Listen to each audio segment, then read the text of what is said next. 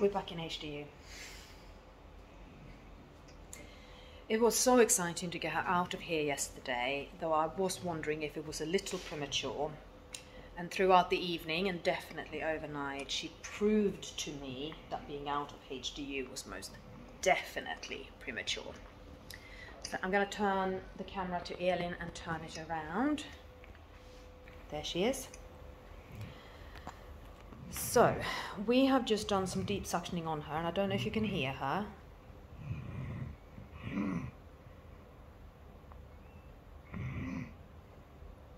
That's how we see she is after chest physio and a deep suction and two really good coughs. So her aspiration pneumonia is still pretty bad actually. Numbers wise, let me move around, I can show you. Where it says 118, that is her pulse. Where it says 34 now, that is her respiratory rate. So that's a good respiratory rate. She's taking enough breaths. A little bit fast, but I have just done chest physio and moved her. 93 is her oxygen saturation, and she's not on any oxygen masks at all. And then 154 over 68 is her last blood pressure, and I have no idea if that is good or bad. Absolutely none. But yes, she is here. Most uh, medicines still go through the IV. So we have the line in her neck here. Here are here's the problem.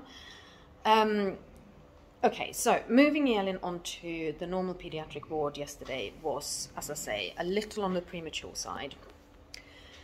And once up on the ward, she vomited quite a lot and she also spiked in temperature.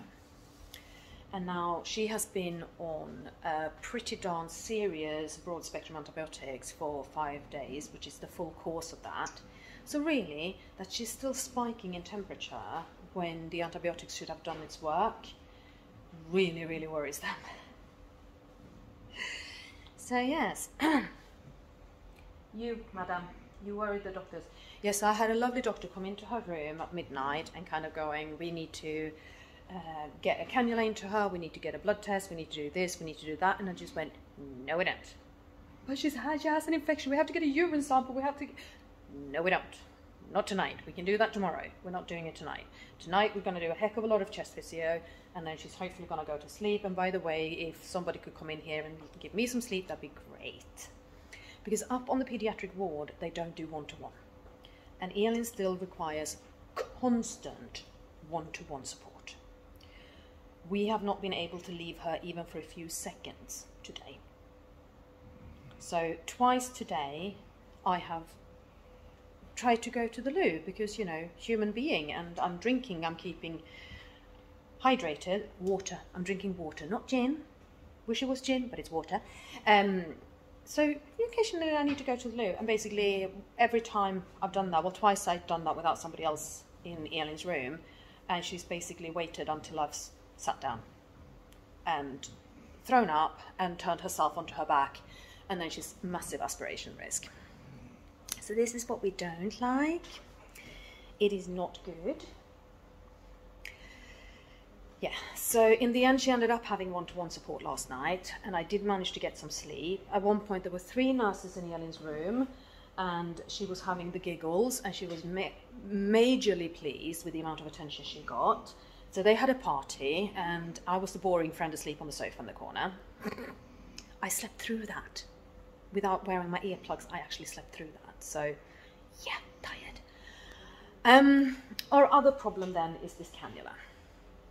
So if you've seen all the vlogs, you will know that this the cannula in her neck is meant to be a central line. So it's meant to go from here into central vessels in her chest. But what it has done, it, it has it's snuck out into her arm instead. So it's not a central line, it has gone to being a, a sort of midline. We can give medicines and IV drip through it, but we cannot give total parenteral nutrition which is the nutrition drip. And we are now a full week post surgery. It is no, we're eight days post surgery. Her surgery was Wednesday last week. It is Thursday evening now. And yeah, so that's how long she's been like this. And yes, we've started giving her feeds. We're giving her PaediaSure Compact and we're giving her some blended diet, and she keeps throwing up. So she's not really getting enough calories and enough nutrition. When I say she's not really, not really, I mean she is most definitely not getting enough. She just isn't. It is not enough what she's getting in. So we are starting to be a little worried now, nutrition wise, and we also can no longer draw any blood from this cannula, so we cannot do a blood test on her. They had a good look today, the doctors, and try to find somewhere to put in a peripheral cannula. So, you know, just a normal box standard cannula. They can't find a vein that they are willing to prick. They say we might get a cannula in, we might get it working, but she'll break it within a day and that's not enough because she's still so dependent on IV medicines. We give three medicines through the Mickey button now. We give baclofen, we give clobazam, and we give melatonin because those three we can't get IV. Everything else she has IV. And on top of that, on top of her normal day-to-day medicines, so she gets Epilim and Keppra and omeprazole and feel like I'm missing one. Am I missing one? Uh, Sialanar. Uh, okay, so through the IV goes Epilim and Keppra. They're both epilepsy meds. Omeprazole, which is a um, anti-reflux medicine. Sialanar, which is one of her dribble medicines. They go through the IV, and they are her normal day-to-day medicines. And then through her Mickey button, we give baclofen, which is a muscle relaxant, melatonin, which is sleep, and clobazam, which is a third rescue medicine, uh, well, uh, no, a third epilepsy medicine, and her first step rescue. And we're just giving that routine because if she starts fitting now, we're in trouble. Um, so we're giving that to hopefully keep her from going into a spiral of seizures. And then she also has IV ondansetron, which is an antiemetic to help with the vomiting, and paracetamol and antibiotics. So she finished her five day course of one antibiotic and she's still clearly ill. She still clearly has aspiration pneumonia. She is still running temperatures, so they have put her on a new course of a different broad spectrum antibiotic. So, yes, second one. In a way, it's the third one. Well, they put her on coamoxiclav, which is like, you know, bog standard penicillin kind of thing, or antibiotic. Um, but after a day they changed her to a, a, stronger one. And that was based on what the microbiologists at hospital said looking at her samples. Uh, so again we've looked at samples and they've determined because that course was over and they've determined another one to try. So that's what we've done. You are being you're really moving so she's very very tired. But can you see that she's actually wriggling her legs That leg that she is really moving there, that's her good leg. She has been moving her bad leg too, so this leg on top is the one that we've operated on. And also, God, she's tired. She can barely keep her eyes open. Yes, broad spectrum antibiotic. What next? Yes, the cannula. so we need to get a new cannula into her, but because they don't think that we can trust any of her veins for a peripheral cannula, we need to go in with a much deeper one, which will be either a PICC line or another central line and a general anesthetic. So we're putting her to sleep again tomorrow. Another GA. And that is going to put her several days back in her recovery because Elin and GAs.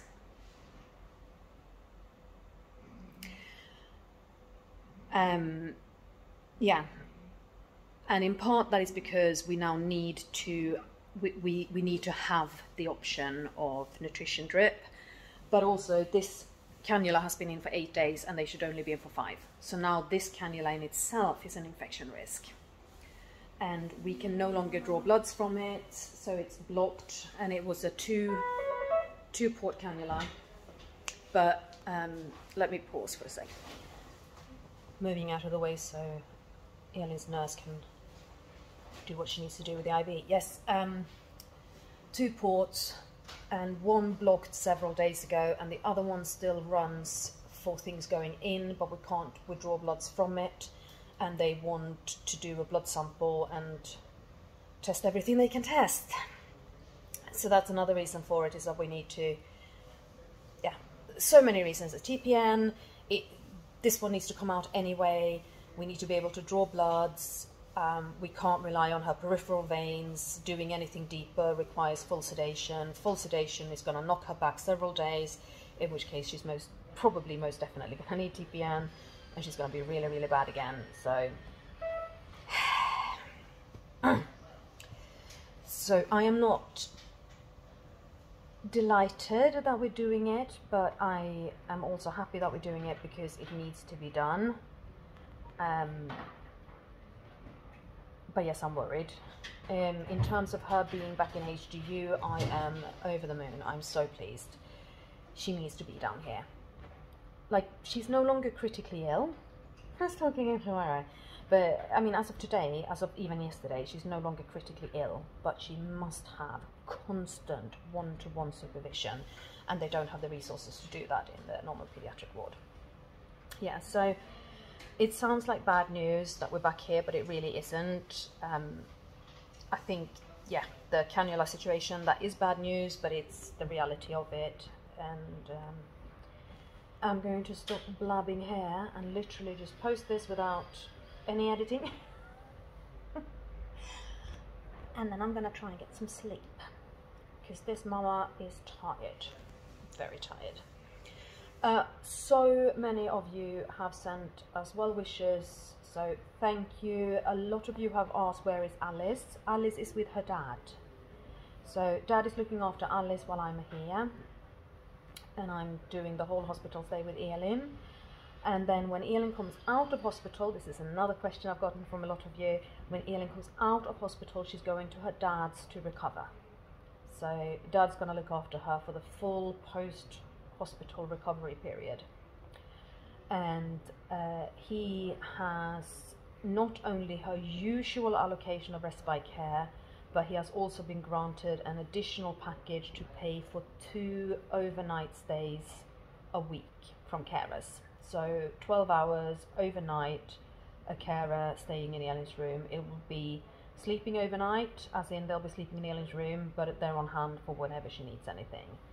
And also, she is not leaving this hospital until we are absolutely certain it's safe and she's not going to bounce in, back, bounce back in, because bouncing back in means Bedford Hospital, and oh god. like the nurses at Bedford Hospital are lovely, and most of the doctors at Bedford Hospital are absolutely lovely, but they don't really know how to treat Elin. Whereas this hospital, they're actually experts on complex children, so much, much, much happier to have her here. Yes, so there we are. Um, and I know I'm not responding to every single comment at the moment, but as you can see, I have my hands full and I very much have my mind full. So I just wanted to let you know I read them all and I'm so grateful and you are all wonderful and I am staying strong, I promise. I am coping, I promise. I am looking after myself very, very well, I promise and then I have wonderful friends who also are looking after me and who are sending me takeaway deliveries. So yes, we are good, we're in the right place, and Elin will get better. She's one heck of a fighter, but she does things on her own terms and on her own timeline. Thanks for watching. See you again soon. Bye.